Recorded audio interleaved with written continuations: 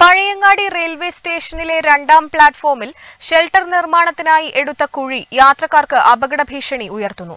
Shelter നിർമ്മാണം ഇഴഞ്ഞു നീങ്ങുകയാണെന്ന് ആക്ഷേപം. പ്രതിഷേധം വ്യാപകം.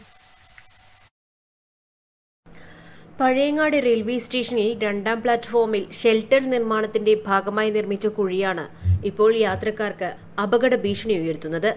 ഇതുവഴി ശ്രദ്ധിച്ചു വേണം നടന്നു പോകാൻ കണ്ണു തെറ്റിയാൽ യാത്രക്കാർ കുഴിയിലോ അല്ലെങ്കിൽ റെയിൽവേ ട്രാക്കിലോ വീഴുന്ന അവസ്ഥയാണുള്ളത്.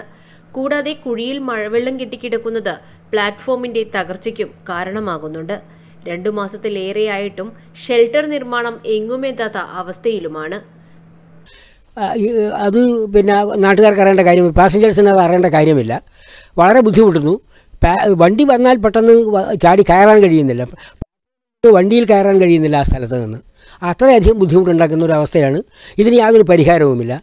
പണ്ട് എനിക്ക് ഓർമ്മയുണ്ട് ഇതേപോലെ തന്നെ ഈ ഫുട് ഓവർ ബ്രിഡ്ജും ഇതേപോലെ നമ്മളുടെ ഇപ്പോൾ നിലവിലുള്ള ഫുട് ഓവർ ബ്രിഡ്ജ് രണ്ടായിരത്തി നാല് രണ്ടായിരത്തി അഞ്ച് കാലത്ത് പ്രവൃത്തി തുടങ്ങിയിട്ട് ഈ കോൺട്രാക്ടർമാരുമായിട്ടുള്ള അഭിപ്രായ വ്യത്യാസം കൊണ്ട് അഞ്ച് വർഷം യാതൊരു പ്രവൃത്തിയും പുരോഗതിയുമില്ലാതെ തുടരാനിടയായി. അതിനുശേഷം ഞാൻ ഹൈക്കോടതിയിലും പിന്നീട് മനുഷ്യാവകാശ കമ്മീഷനിലും പാസഞ്ചേഴ്സ് അസോസിയേഷന് വേണ്ടിയിട്ട് കൊടുത്ത റിട്ട് ഹർജിയും മനുഷ്യാവകാശ കമ്മീഷനിൽ കൊടുത്ത പെറ്റീഷനും ആസ്പദമാക്കിയിട്ടാണ് അവസാനം മനുഷ്യാവകാശ കമ്മീഷൻ മൂന്ന് മാസത്തിനുള്ളിൽ ഈ അണ്ടർ ഫുട് ഓവർ ബ്രിഡ്ജിന്റെ പ്രവൃത്തി പൂർത്തിയാക്കണമെന്ന് പറഞ്ഞ് ഉത്തരവിട്ടത്.